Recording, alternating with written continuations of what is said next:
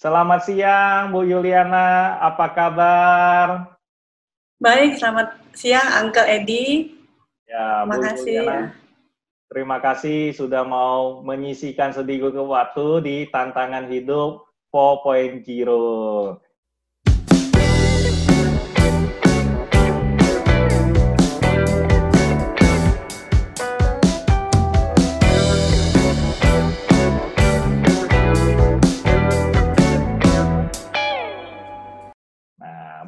Yuliana. Bu Yuliana ini kan anaknya sudah gede-gede ya Bu ya. Nah, hmm. kali ini Bu Yuliana ini kita minta ini satu topik yang sangat luar biasa yaitu cara praktis dalam mewujudkan impian anak. Karena Bu Yuliana itu banyak pengalaman bagaimana membesarkan anak, bagaimana untuk mewujudkan anak-anaknya. Nah, boleh ya Bu ya berbagi sedikit buat kita semua. Boleh, senang nah, sekali. Silakan Bu Yuliana. Ya. Terima kasih ya uh, Uncle Edi. Senang sekali saya hari ini diberi kesempatan untuk berbagi ya kepada Ibu Bapak dan teman-teman semua. Di sini tentunya ya kita orang tua tuh mengharapkan anaknya tuh sukses, bahagia gitu kan. Pasti kan orang tua maunya oh nantinya setelah anak saya besar dan sudah selesai kuliah atau apa, semua orang tua pasti mengharapkan anaknya sukses ya dan bahagia kan. Nah ini ternyata sukses dan bahagia itu sangat erat hubungannya dengan mewujudkan impian anak. Ya begitu. Jadi kalau menurut saya dari pengalaman saya pribadi ya, mungkin uh, sebagian orang tua yang mempunyai impian sama dengan anak itu sangat bagus ya. Itu yang kita harapkan. Tapi ya dalam hal ini tidak semua berjalan sesuai dengan apa yang diharapkan orang tua. Terkadang juga orang tua dan anak mempunyai pandangan atau tantangan, rintangan yang berbeda ya. Pasti kita semua juga paham ya. Ada suatu saat anak juga bisa mem, memau, uh, membuat diri mereka itu suatu hal yang berbeda mungkin dengan orang tua. Nah, di sini saya akan berbagi bagaimana caranya agar bisa mewujudkan impian anak ya. Dalam ber, dalam berbagi, berbicara dengan impian ya, tentunya uh, kita untuk membuat anak itu berhasil banyak cara ya. Semangat dalam meraih impian itu sangat penting dan berjuang dalam meraih impian itu juga diperlukan ya dan harus mempunyai juga tujuan yang jelas di sini. Saya di hari ini akan berbagi enam cara mewujudkan impian anak. Yang pertama adalah mengarahkan anak untuk disiplin. Nah, bagaimana caranya kita mengarahkan anak untuk disiplin ya? Tentunya menurut pengalaman saya pribadi, itu anak untuk menjadi disiplin sebaiknya dari kecil ya mungkin usia dari 0 sampai 3 itu itu ternyata sangat efisien sekali untuk memasukkan apa yang anak tidak tahu ya. Ternyata itu program yang sangat baik gitu. Nah, di sini misalnya setelah 0 sampai 3 dan masuk ke taman kanak-kanak ya, sekolah. Nah, di situ kita juga harus mengarahkan anak untuk disiplin. Misalnya pada saat sekolah, tentunya kan bangun pagi, anak-anak sekarang kan susah disuruh bangun pagi. Masuk jam 7 pagi, kita harus membiasakan anaknya itu untuk misalnya dia walaupun jam 6 dibangunin nggak mau, harus kita latih untuk disiplin itu. Nah, dari kecil ini memang disiplin ini penting ya, karena setelah nanti dia dewasa, tentunya anak-anak yang setelah dilatih dengan disiplin berbeda banget, berbeda sekali dengan anak yang tidak disiplin. Karena dia akan sudah menjadi karakter sendiri bahwa dia harus menjalankan hidupnya ini tanpa orang tua di sampingnya. Nah, ini dalam hal ini kita orang tua sangat penting sekali da mengajarkan anak disiplin dari kecil hingga nanti setelah dewasa itu membuat orang tua sendiri akan bahagia ya. Karena apa dengan mereka udah disiplin dan bisa menjalankan hidup sendiri, tentunya orang tua tidak menjadi beban lagi buat orang tua. Gitu.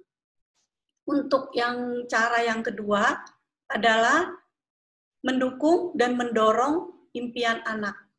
Nah, bagaimana caranya kita uh, mendukung ya impian anak?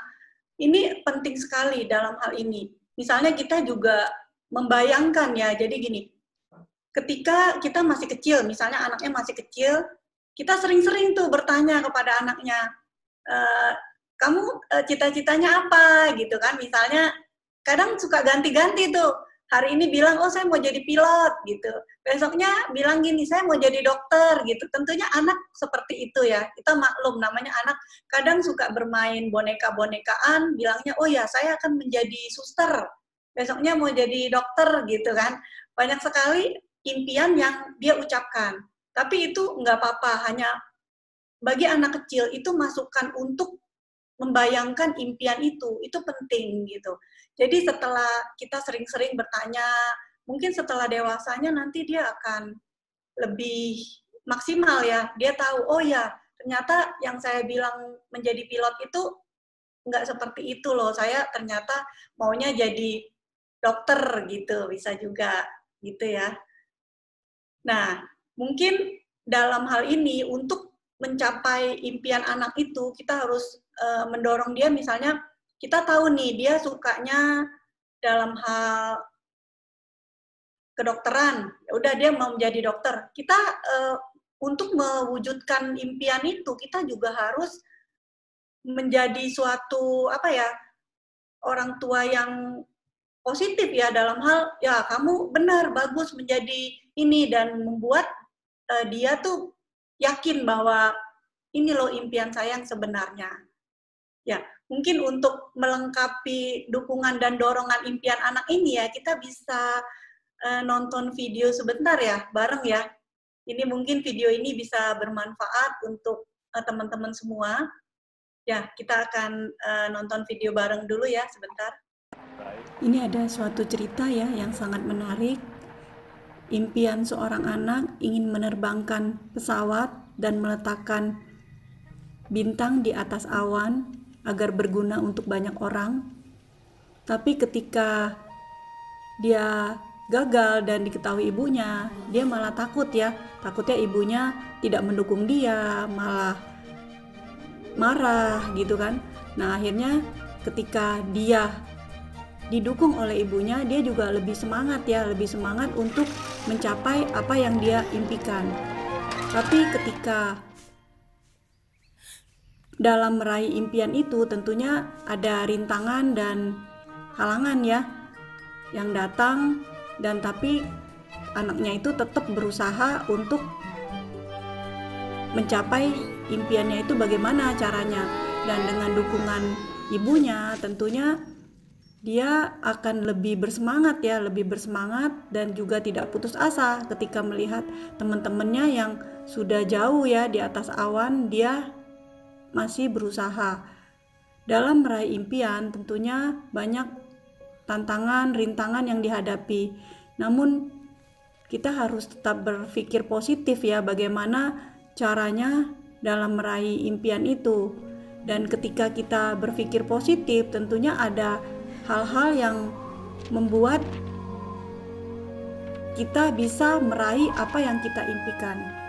Nah, di sini Anak ini bersama ibunya berusaha kembali menerbangkan pesawatnya dan apa yang dia impikan ditunjuk di sana gitu dan ternyata terakhirnya dia berhasil ya berhasil menerbangkan pesawat wah ternyata bisa di atas awan dan ibunya juga merasa bahagia sekali ya di sini ketika sampai di atas awan dan anak pun harus ingat apa tujuan akhirnya yaitu mengambil bintang dan menerbangkan dan meletakkan bintang itu di atas awan.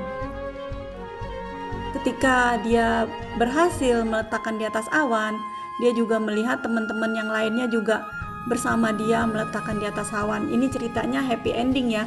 Dia bersama ibunya menggapai impiannya dan bintangnya bercahaya, bisa berguna untuk banyak orang. Nah, ibunya juga di sini merasa bahagia sekali ya cerita ini happy ending dan bisa menjadi motivasi ya untuk kita semua.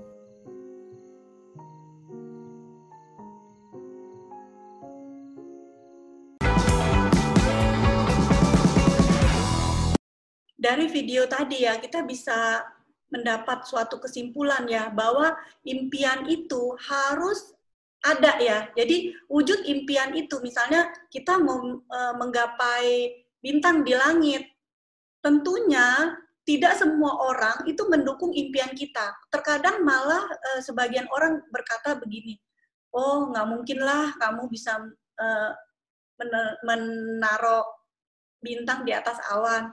Tapi ketika impian itu kita benar-benar kita merasa bahwa kita mampu ya, tidak tidak menutup kemungkinan impian itu akan berhasil.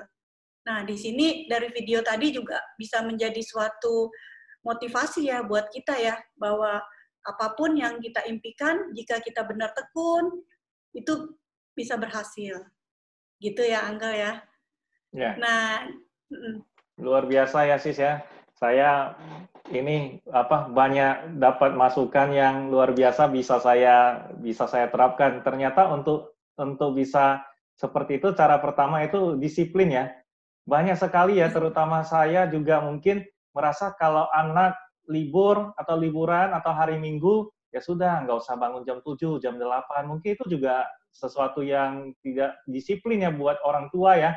Ya, kasihan dia, biar dia tidur lebih lama. Kalau kalau sebulan libur, ya sudah, uh, tidak bangun pagi lagi, jam 9, jam 10, kadang jam 11, tiba-tiba mau uh, masuk sekolah lagi, wah ini kerepotan lagi, menyetel lagi, wah ini disiplinnya, ini sebenarnya bukan disiplin, ini amburador ini namanya.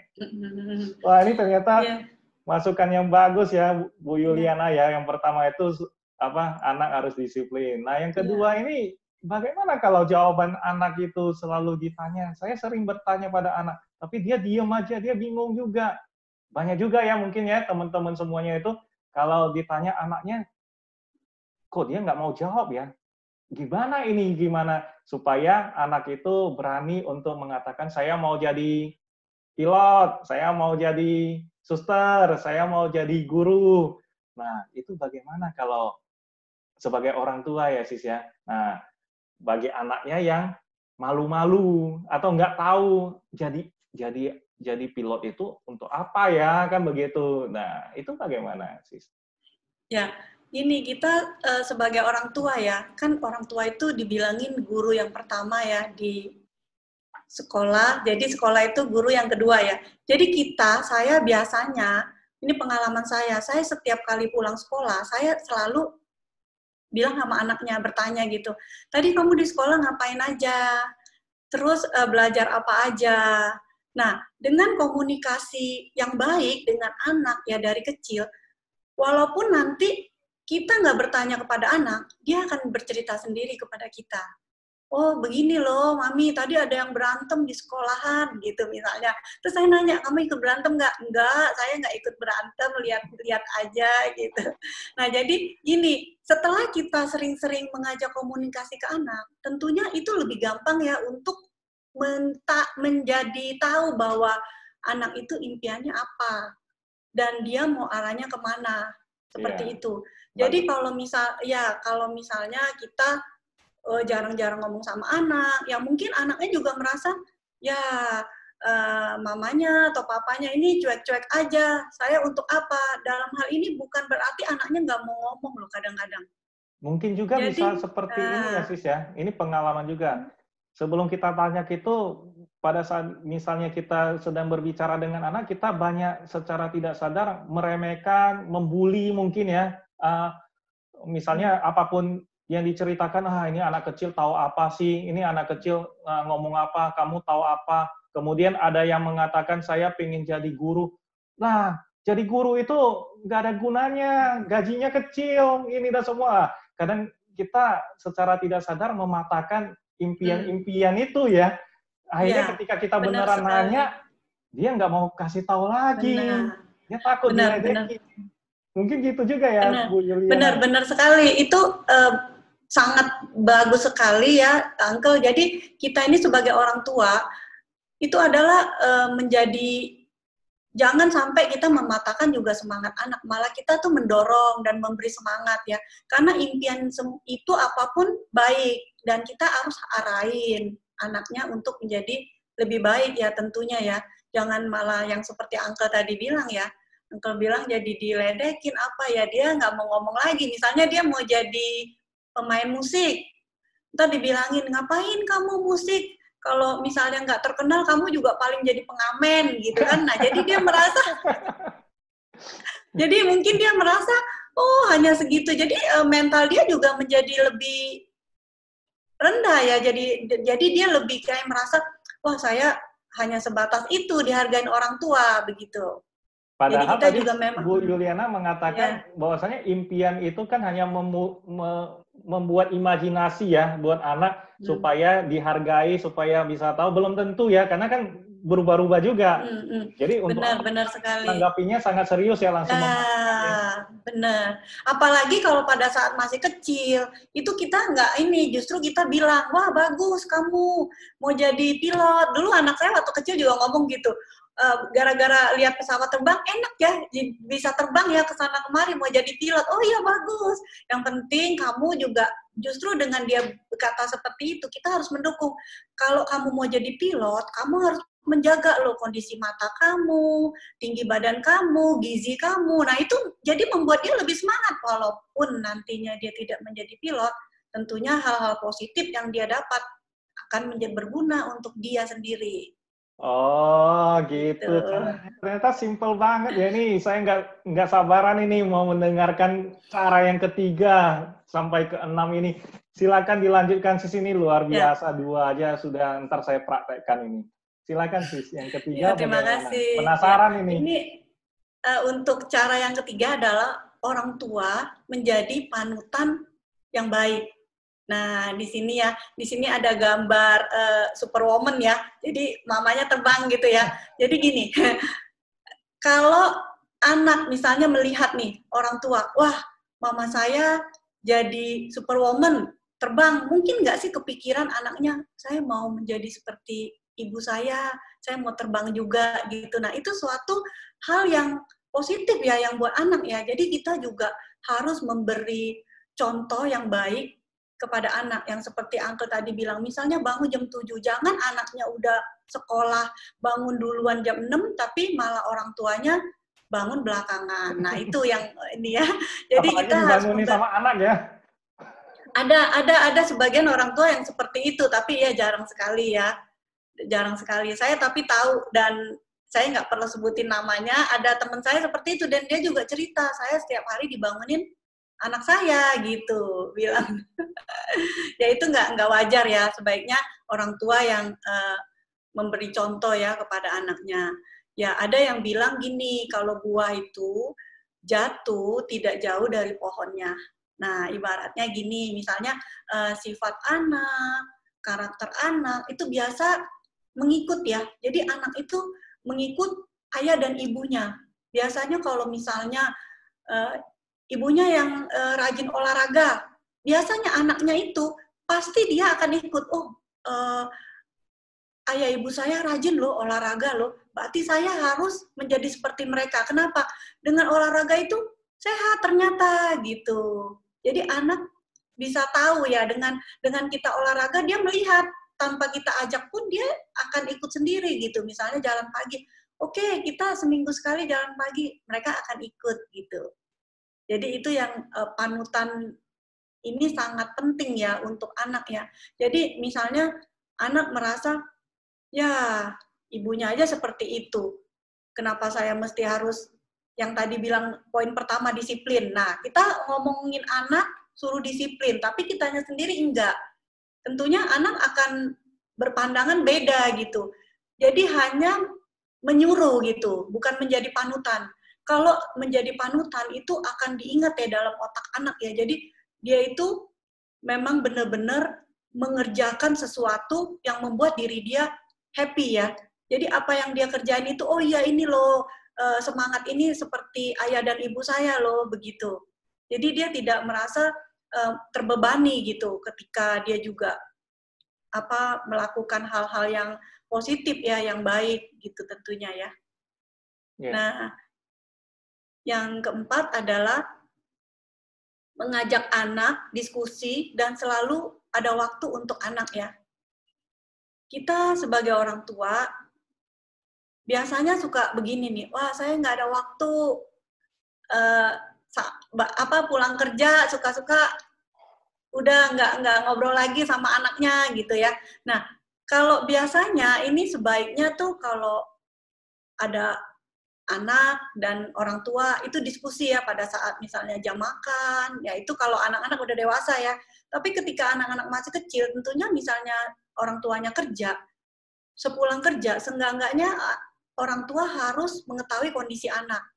Dan ajak ngomong atau diskusi kecil gitu kan setelah uh, ada waktu lagi misalnya setelah jam makan atau apa bisa ngobrol bareng. Biasanya saya itu dulu waktu saya anak-anak kecil jam 7 tuh kumpul, kita kumpul bareng.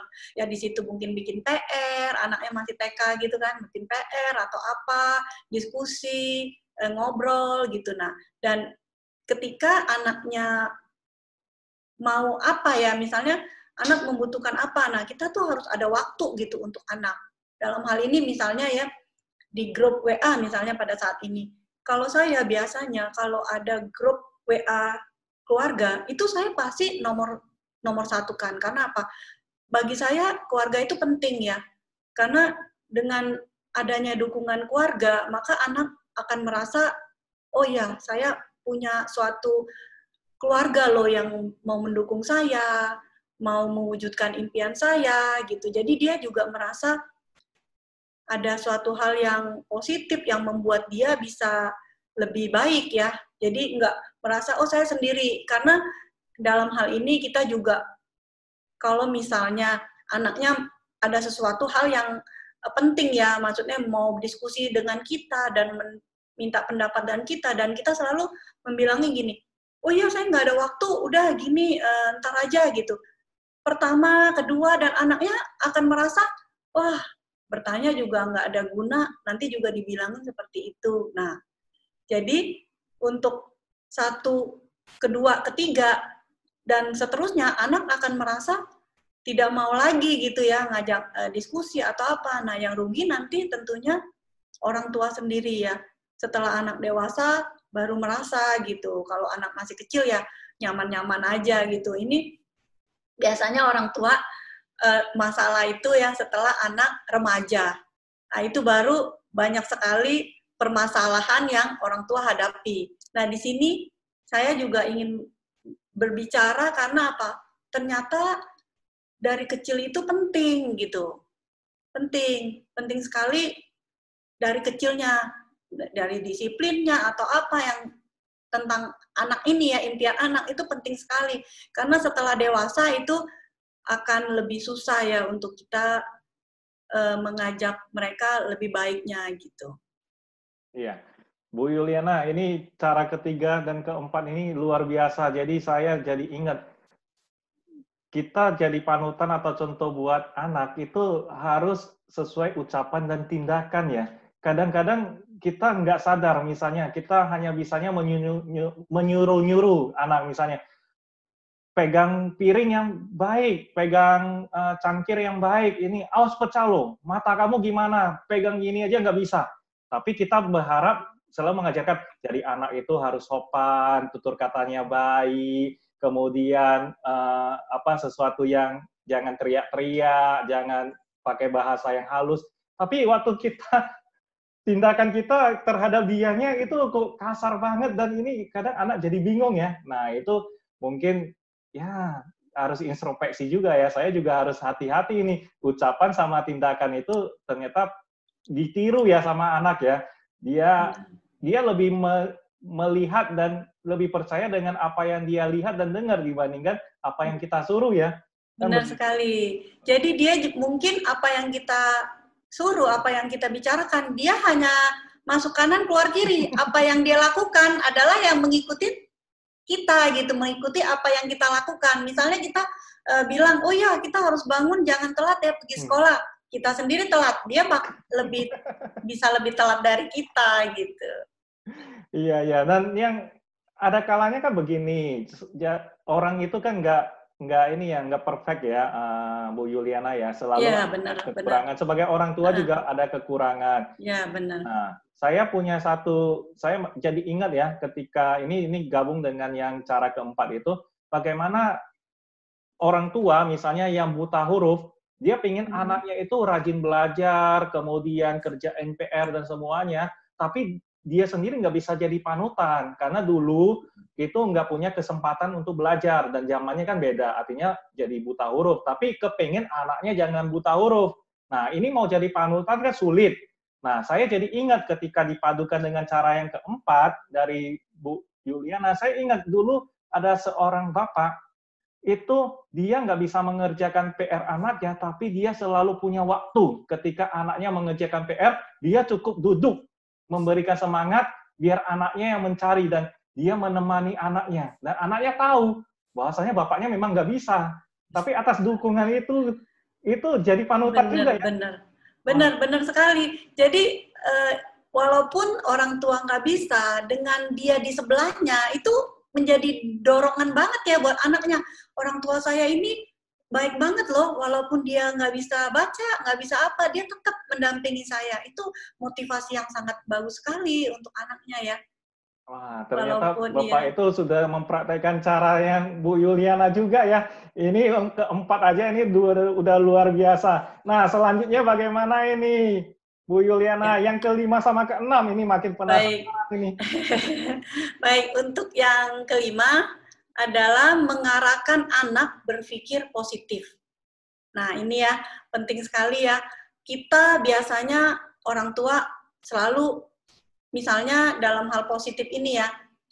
Ketika anaknya gagal, pasti dalam meraih impian itu tentunya ada rintangan, halangan, itu nggak menutup kemungkinan anaknya juga berpikir negatif ya dalam hal, aduh udah deh saya kayaknya nggak Eh, bisa deh nggak sanggup. Nah, kita harus memberikan dorongan kepada anak untuk berpikir positif. Jadi pikir positif begini, tentunya halangan dan rintangan itu pasti ada dan kamu harus berjuang gitu menghadapi apa yang ini berpikir positif dalam hal misalnya kita berpikir nggak bisa dan tentunya dengan berpikir positif itu pasti lebih baik ya tentunya ya Nah, di sini juga dalam hal berpikir positif, saya juga uh, suka gini ya. Biasa orang tua itu melekat ya uh, kepada anak ya. Hmm. Apa maksudnya? Jadi orang tua itu merasa, oh anak saya ini, anak saya yang kecil ini, walaupun dia udah dewasa, pasti masih menganggap mereka tuh masih anak-anak. Jadi suka-suka anaknya mau udah SMP gitu, mau pergi sama teman, nggak dikasih mau ini. Nah, itu orang tua melekat ya sama anaknya. Nah, ini harus kita itu orang tua kalau sebisa mungkin melatih untuk melepas ya. Dalam arti bukan, oh ya kita biarin aja anaknya, enggak. Kita tetap pantau. Misalnya aja ya, ada dalam hal ini misalnya ya, saya sering lihat tuh di kompleks saya, orang-orang tuh tiap pagi suka bawa anjingnya ya, anjing yang kesayangannya misalnya bagus, pakai tali jalan bersama ini. Nah, anjing itu ketika dia tidak dilepas talinya, tentunya radiasi yang dia ini hanya segitu-segitu aja. Misalnya dia stop di taman. Ketika stop di taman, hanya sebatas yang dia bisa ini, tali itu.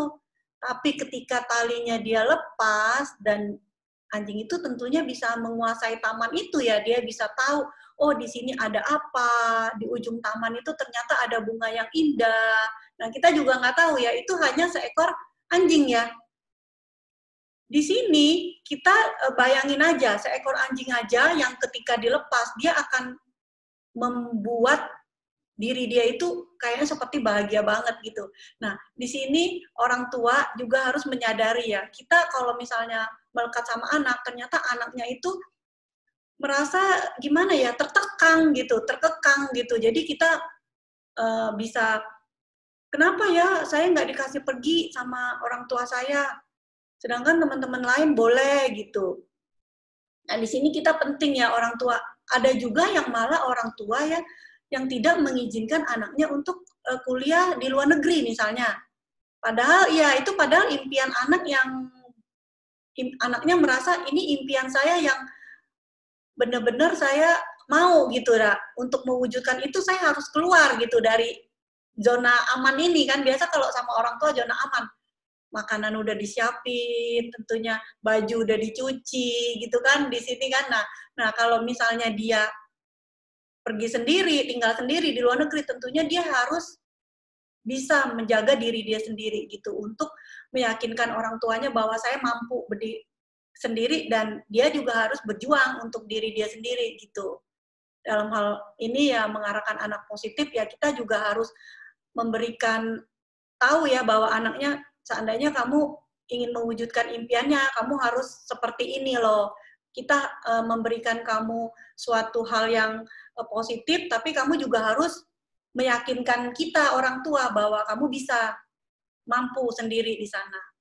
Nah, itu ya kira-kira tim Bu Yuliana hampir semua orang tua itu tidak rela ya. Jadi pingin pikiran positifnya ini kan susah. Jadi melekat. Hmm. Jadi ketakutan itu kan sebenarnya pikiran negatif. Ah jangan-jangan, hmm. ah jangan dikasih dah. Hmm. Ntar pergaulannya bagaimana? Hmm. Jadi nggak diizinkan keluar, nggak diizinkan ke luar negeri. Jadi kemelekatan, kemudian ketakutan, pikiran negatif itu kan melekat berbal apa berlandaskan ya berbalut berbalut dengan rasa katanya sayang anak kan begitu padahal kan hmm. enggak juga ya nah tapi bagaimana Bu Yuliana bisa bisa ya menerapkan bisa pikiran positif kemudian bisa mengurangi kemelekatan bisa mengizinkan anaknya kuliah di luar negeri itu bisa diceritakan apakah memang uh, tidak ada rasa itu, tapi secara normal sih harusnya setiap orang juga mempunyai yeah. kemelekatan ya, pikirannya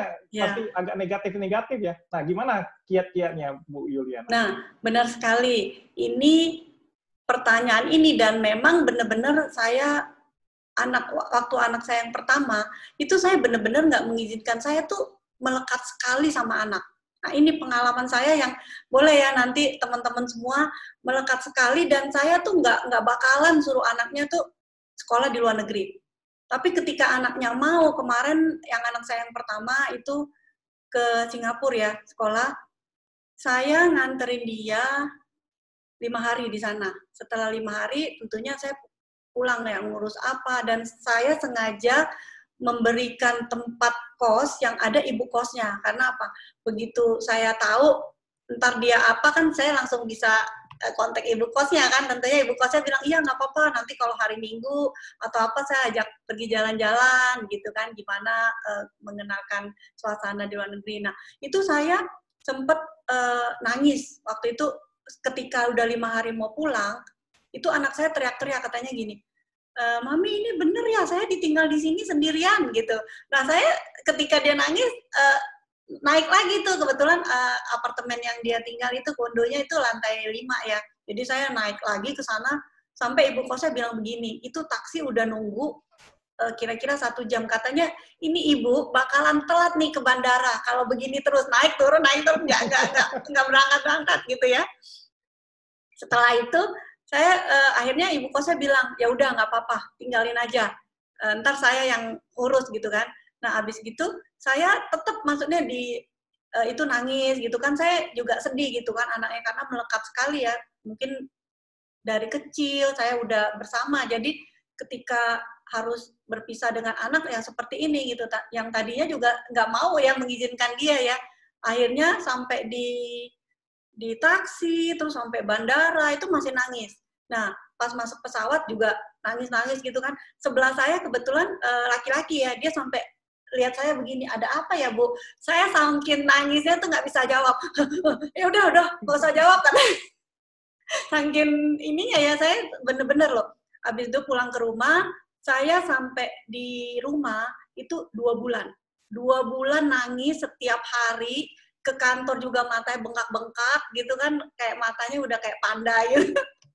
Bayangin dua dua bulan tuh tiap hari nangis kalau lagi kerja enggak kalau lagi nggak inget saya nggak nangis. Tapi kalau pas lagi diem gitu saya nangis. Dan setiap hari saya masuk ke kamarnya dia itu buka-buka itu loh bisa buka kamarnya lihat-lihat. Waktu itu uh, adiknya bertanya kepada saya adiknya ada di Jakarta? Dia bilang gini e, mami uh, Cici kan nggak ada di sini ngapain masuk-masuk kamarnya gitu. Nah itu saya juga nggak sadar loh, bener loh. Orang bilang tuh kayak uh, seperti kehilangan pacar ya. Jadi bener-bener kayak merasa gimana ya. Terus banyak temen yang nasehatin. Terus uh, ada ini suami juga nasehatin. Anak saya yang kedua juga bilang, udah uh, waktu itu zamannya BB sih ya, BBM masih ya. Saya setiap hari juga BBM sama dia masih dia udah mami aku baik-baik aja kok di sini gitu. Anaknya yang di sana seminggu udah oke. Okay. mamanya yang di sini dua bulan. Nah habis gitu saya saya juga bingung ya waktu itu gimana ini caranya ya. Saya juga tahu sebenarnya ini suatu hal yang uh, saya nggak mau gitu. Tapi saya nggak bisa. Gimana caranya nggak bisa gitu kan? Nah suatu hari saya berkesempatan ini karma baik sekali ya. Saya itu diajak temen itu meditasi. Saya waktu itu dibilang gini, e, Bu Yuli meditasi aja coba, mungkin bisa tenang. Ah saya nggak mau, saya nggak ngerti. Saya bilang begitu, saya nggak ngerti sama sekali meditasi itu seperti apa ya. Nantinya kayak apa gitu kan. Nah akhirnya ya karena kondisi saya yang seperti ini, saya pikir ya boleh juga ya saya coba gitu kan. Karena teman, suami nasehatin. Saya nggak kayak merasa ah itu nggak masuk di akal saya gitu. Saya kalau melekat itu benar-benar kayaknya merasa benar-benar tersiksa. Saya sekarang baru tahu gitu. Nah setelah saya meditasi ya eh, pelan-pelan itu kira-kira hampir sebulan dua bulan gitu saya baru tahu bagaimana tuh cara melepas. Itu yang yang itu. Yang tadinya saya tuh benar-benar melekat sekali dan merasa bahwa apa yang diucapkan teman, dinasehatin teman itu nggak ada manfaatnya sama sekali. Tapi ketika meditasi, saya merasa bahwa oh ini loh caranya. Ini saya juga mau mengarahkan teman-teman ya yang maksudnya sekarang juga di untuk meditasi ini bukan untuk hanya orang yang sakit ya bahkan di luar negeri sekarang di rumah sakit di mana itu diarahkan untuk meditasi ya untuk menjadi uh, mengikis ini ya. Kayak kayak kita merasa oh ini loh yang pendapat saya loh yang benar gitu loh. Kadang meditasi ini adalah suatu teknik ya teknik cara bagaimana kita uh, membuat uh, diri kita ini batin kita ini tahu bahwa oh ya ini adalah suatu hal yang uh, patut kita lepas gitu Nah, ini terbukti ketika anak saya yang kedua itu berangkat ke Beijing ya, waktu itu ngambil S1. Nah, saya waktu mengantarkan dia dan pulang itu nggak nangis sama sekali.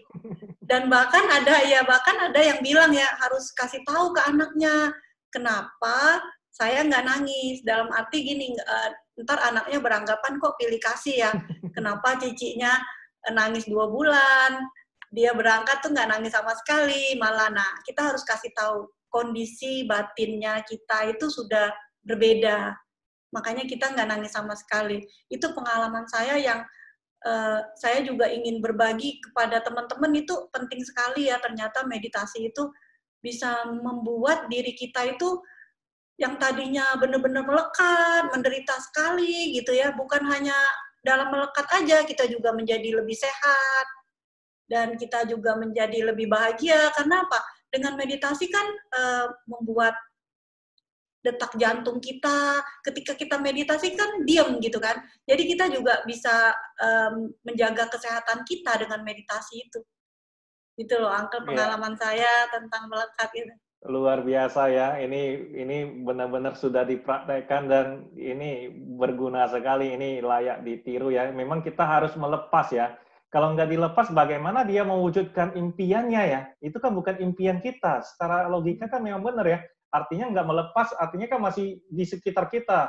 Jadi ibaratnya ya masih masih ter, terikat dengan tali dan kita masih pegang talinya yang tadi diilustrasikan dengan anjing itu. Jadi bagaimana mungkin kita di satu sisi pengen dia mewujudkan impiannya ya toh, tapi di sisi lain kita pegang talinya, kita nggak memberikan kebebasan. Kita masih melekat ya, masih banyak ketakutan. Nah, itu ternyata ya nggak mungkin bisa terwujud, jadi sama-sama menderita akhirnya. Nah, dengan berlatih seperti itu, ternyata anak pulihnya lebih cepat ya, namanya dia masih masih remaja, seminggu saja sudah bisa beradaptasi. Nah, bayangkan kalau kalau kita tidak tidak berani melepaskan seperti itu, misalnya anaknya sudah sudah sudah berumur misalnya seperti tetap ada ketakutan sama seperti anjing itu ya Bu Yuliana ya. Kalau sudah selalu di tidak diberikan kesempatan untuk bisa bebas di sekitar taman itu, ketika dia sudah menua, anjing ini juga dia tidak akan berani. Meskipun sudah dilepas. Benar, Benar ya? sekali. Nah, bukan Benar. dilepas, artinya terlepas. Pemiliknya sudah nggak ada, artinya sudah meninggal. Nah, anjingnya tetap nggak terbiasa lagi. Tidak berani, benar. Ya, luar biasa. Waduh, ini hebat banget. Nah, yang terakhir ini Bu Yuliana, bagaimana ini? Seru banget. Yang terakhir caranya memfasilitasi biaya sekolah anak. Ya, ini juga sangat penting sekali ya. Jadi ketika kalau saya pengalaman saya waktu ketika anak masih SD gitu saya udah berpikir bagaimana ya untuk uh, membiayai anak sekolah nantinya tentu kita mau ini. Nah saya itu masuk uh, asuransi tapi ini nggak promosi ya. saya nggak nggak nggak jualan asuransi nggak apa. Jadi saya berpikir oh asuransi pendidikan ini perlu ya. Waktu itu saya mengambil untuk ketika anak kuliah, nah itu bisa dipakai nantinya. Tapi saya juga tidak menutup kemungkinan menyarankan ketika saya menyiapkan biaya anak itu tidak menutup kemungkinan saya mengarahkan anaknya untuk agar anaknya bisa mencapai beasiswa ya. Jadi kalau misalnya kita juga mengarahkan anak dari kecil uh, dengan disiplin dan sekolah juga baik, tentunya kan nilai dan ini kita juga bisa ini ya anak ya anak tentunya berbeda-beda. Ketika anak bisa mencapai nilai yang tertinggi dan mendapat beasiswa itu menjadi suatu kebanggaan buat anaknya dan buat orang tua juga ya. Tapi dalam hal ini kita juga tidak menutup kemungkinan bisa mewujudkan impian anak itu ketika anaknya mau berusaha mendapatkan beasiswa. Jadi walaupun orang tua yang uh, belum mampu atau ini bisa terwujud juga impian itu gitu. Nah dari kecil kita udah tanamkan di pikiran anaknya pikiran positif. Kamu bisa mewujudkan impian ini dari kecil kamu sudah bisa loh gitu. Jadi dengan belajar yang tekun, giat kan nilai akademinya kan bagus. Tentunya dia juga menjadi percaya diri bahwa saya pasti mampu mencapai apa yang saya impikan. Gitu ya mungkin dari saya ya, Uncle. Ya, bagus, luar biasa. Memang sangat perlu ya perencanaan ya. Jadi uh, apa kita kalau mampu kita harus mulai menyisikan sedikit ini ya uh, tabungan ya buat pendidikan anak. Yang kedua adalah kita bisa mendorong anak untuk mencari beasiswa ya. Nah, bukan mencari tapi kita ikut ya, ikut mendukung, ikut terlibat, ya, ikut mencari tahu. Kadang kan mencari tahu kan nggak perlu biaya ya. Hmm. Kita bertanya pada teman-teman kita gimana anaknya mendapatkan beasiswa, informasi. Nah, tentu dukungan-dukungan seperti ini anak sangat membutuhkan ya Bu Yuliana ya. Nah, jadi ya, dia tahu sekali. pentingnya uh, apa uh, belajar. Jadi masalah biaya itu bisa diselesaikan lebih awal ya untuk supaya bisa banyak program kalau mampu ya sudah. Kalau tidak mampu coba cari beasiswa. Mampu pun kadang dapat beasiswa hmm. itu satu kehormatan. Iya. Dan beasiswa nah, kebetulan macam jadi ada ya, yang tidak pintar tapi ada beasiswa untuk anak yang kurang mampu.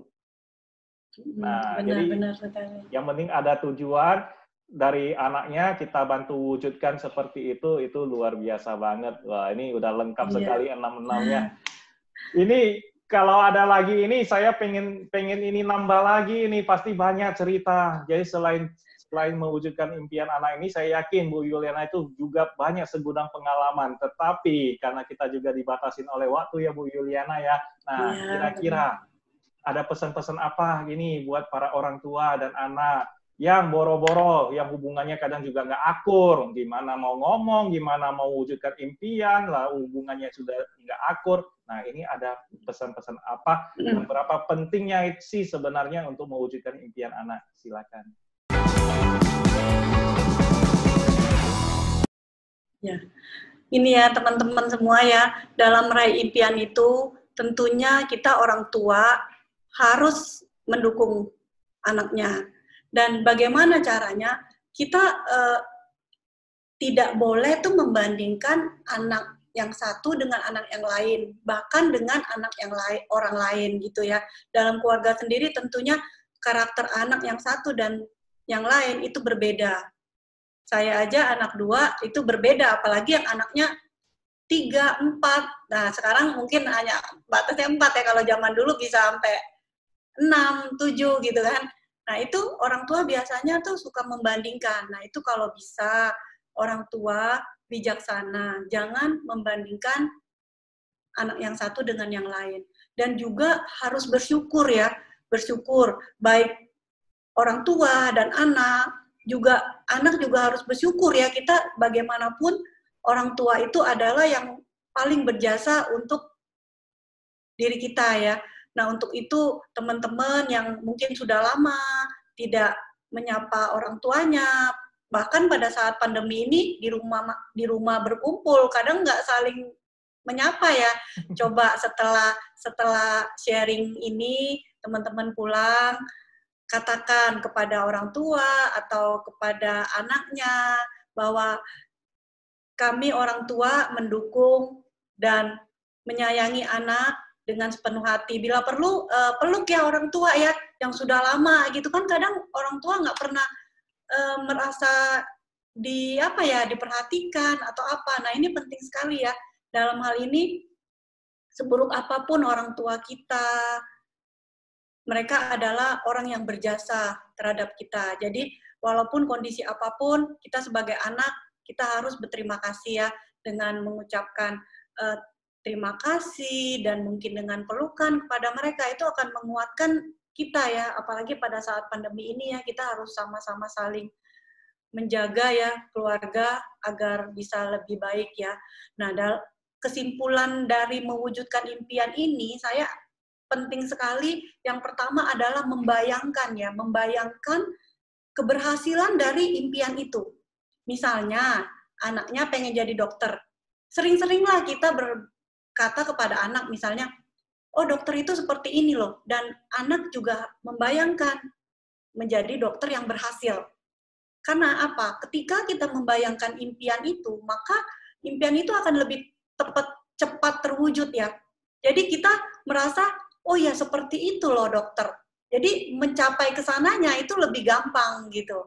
Nah itu yang pasti. Dengan yang kedua adalah dengan tekun dan disiplin. Jadi kita benar-benar harus melaksanakannya dengan disiplin ya, dengan disiplin dan tekun pasti cita-cita itu akan terwujud. Ya, saya doakan semoga teman-teman di sini semua juga para orang tua dan anak-anaknya sukses ya dalam mewujudkan impian anaknya. Ya, gitu aja. Uh, Uncle dari saya, makasih. Makasih. Dan satu, jangan lupa ya, ya Bu Yuliana ya, harus hmm. yakin dengan apa pun impian itu jadi dengan benar. keyakinan kita baru benar. punya ketekunan ya, punya disiplin nah. dan kita benar, benar. membayangkannya kita harus yakin ini hanya masalah ya. waktu doang, benar. pasti akan terwujud. Wah, ya, benar biasa. sekali. Luar biasa ya, Bu Yuliana ya. Terima kasih Bu Yuliana atas sharing di siang hari ini. Sampai jumpa. Ya, terima kasih Angka. Sampai jumpa.